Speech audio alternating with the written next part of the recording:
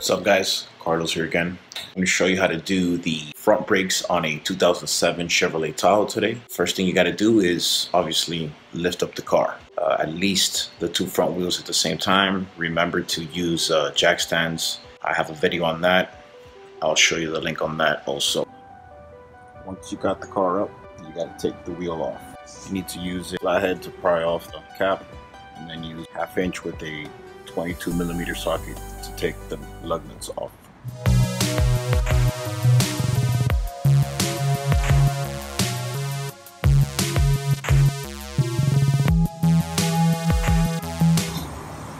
Once you get the wheel off, you want to do a quick inspection on the rotor. Look at the finish. This one has a bit of mirror-like finish on it and glazing.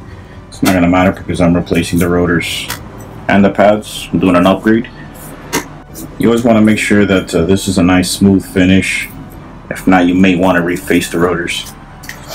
Now, to get the rotors off, we're going to have to remove the brackets and the caliper. So, I'm going to come back here.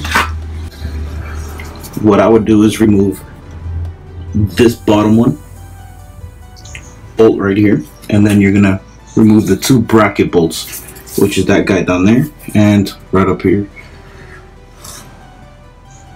This guy right here. Okay you don't need to remove this one because you will slide it right out. You'll see what I'm talking about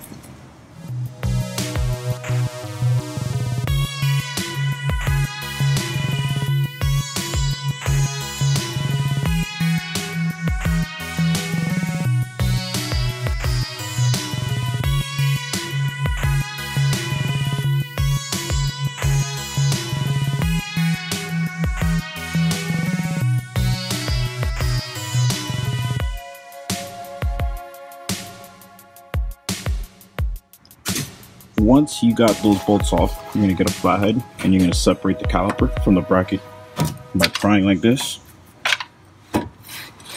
Okay, I need both hands.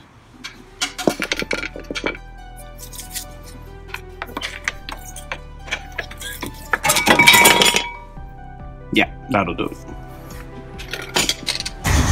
Alright, so you got everything off. Got the bracket off. As you can see the old pads still had a lot of life. Not a lot, but almost half. When you put the caliper, take it off. Don't let it hang on this. This is made out of rubber and you can tear it. So just, you know, rest it on the top here or rest it somewhere, you know, up here. Just make sure that there's no tension on this rubber hose. Um, this is a good time to check the seals on the caliper. Make sure that they're not torn. Are, you should probably replace them or replace the caliper. Make sure that your slides are not corroded, pretty well looped up. There's one slide on here. The other one is, I took it off so it's hanging out right in here. Pull this bad boy out, check it too. We're gonna loop these up also before we put it back together. Put that in there for now. All right. So before we start uh, putting the new brake pads on or anything, we're going to replace all the brackets, all the rubbers, everything. Most brake pad kits come with all of the stuff in it and you should change it. I mean, they're here. You would hate to have to come back in here to change any of these little things because you were lazy. So Here's all the hardwares. It's just a matter of clipping them in and clipping them off. Same thing with the rubber seals. And then we can uh, lubricate our slides, which they give us some nice lubrication here. If your brake pad kit does not come with the brake pads, you probably bought a cheapy brand or an economic pack. You should get all the extra stuff or just, you know, pick the next spot up in brake pads don't get the cheap silver ones. Spend a little more money and it'll come with everything you need. These are the rotors, which I already mentioned. I was upgrading. You do not need these. I'm just, I like, I prefer slotted and drilled because they do a lot of highway driving. And uh, I have a lot of warp issues from overheating my uh, rotors. I'm gonna change them like every year, so this will prolong the life a bit. But I'm gonna go ahead and change out all these things, put this rotor on, and then I'll show you what to do next. Okay, so pretty much I put the new rubbers on. All I did was uh, get a screwdriver in there and pry them out. Each one of these, right? Put the new hardware. Now the slides. I'm gonna clean these with the rag. Like so. Clean just like that. Then I'm gonna get the grease and I'm just going to apply a small bead. Just like that. Get this dry spot. Grab my finger, rub it in a little bit. Perfect. Then I'm going to grab the bracket. And I'm going to put it right in. Spin it. I'm going to do that with each one.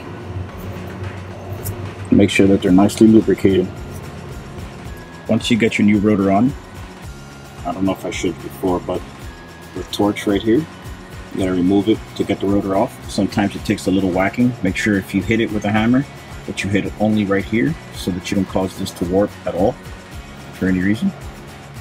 Once you get the new rotor on, before we mess with the caliper at all, let's put the brake bracket on, which were the two bolts that we took off earlier. And just slide this bad boy on and bolt her out. Once you get your brake bracket on, you can go ahead and slide your brake pads right into place. You just put one tab in at a time. There are two different types of brake pads.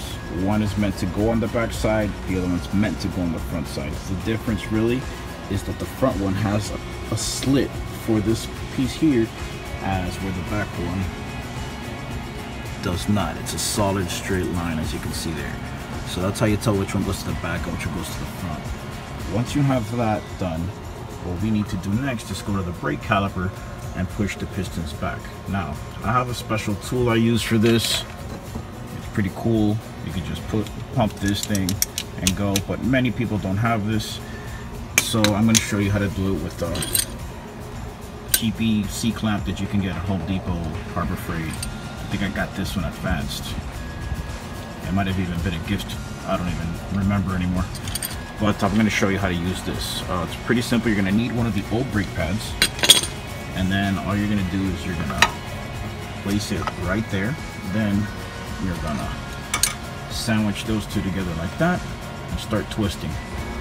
So there it is. You're to just keep twisting and twisting and little by little you'll see the piston start to collapse inwards right in here. Once you get this brake pad, brake pad here almost completely flush to here, you're to take the C-clamp off time. So this is the end result. You got the brake pad. You can see that it's very close. You can see that the piston back here is almost flush. Now what this does is it gives the caliper enough room to fit those new fat brake pads in. So now when we slide the caliper in, it should go with ease. So I got that C-clamp off. You can see my slide is already nice and lubricated. So I'm just to put it into the slide here like this, nice and straight. push it all the way in and then flip it down. And usually what stops it is the other slide down here, so you gotta push her in so that it can slide in place like that. See how easy that went in? If for any reason the caliper does not fit in, it's probably because the pistons aren't all the way back. So you gotta take it off, put the brake pad back in, C-clamp, and uh, tighten it more. Now it's ready for the bolt, and I can put the wheel back on once you put that bolt back into place you're pretty much done you want to make sure you get a rag a clean rag and clean off the rotor whether it's brand new or old it matters not.